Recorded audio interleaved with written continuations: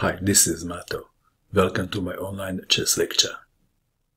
In this video I will show you a game between Henry Bird and Amos Burn. This very beautiful chess game was played in London in 1886. Henry Bird had white pieces and he started with e4. Amos Burn played e5. Knight to f3, knight to c6, bishop to c4, the Italian game bishop to c5, c3, knight to f6, and now not d4, but b4, the bird's attack, named after Henry Bird. Bishop to b6, queen to b3, Amos castle kingside, d3, defending the pawn on e4, d6, bishop to g5, pinning the knight, asking a question bishop to h4 and now g5, unpinning. But sometimes g5 can be risky. Bishop to g3, knight to e7, knight from b to d2, c6, white to move. Should white castle kingside or queenside or do something else? What would you do? Instead of castling, Henry Bird played d4.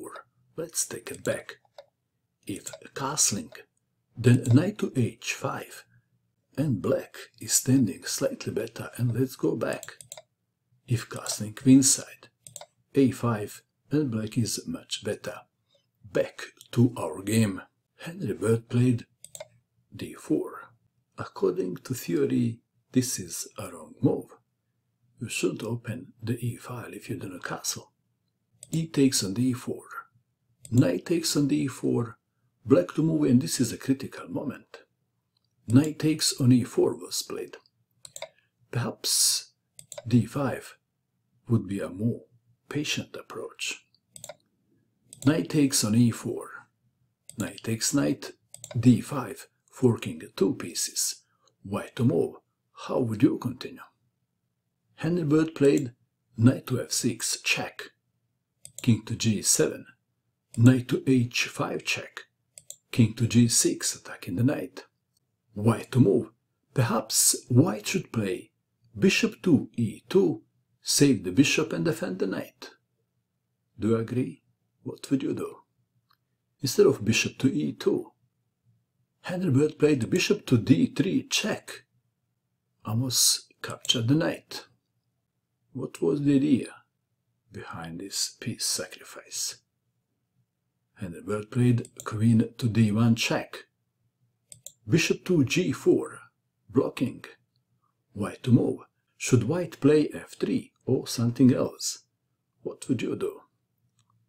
Are you ready to see the move? In a slow motion. Kaboom! Check. King takes queen. White to move and to checkmate in one. And the move is bishop. To e2 check mate. Wow what a beautiful finish. What do you think of this game? And that is all. I hope that you enjoyed watching this video.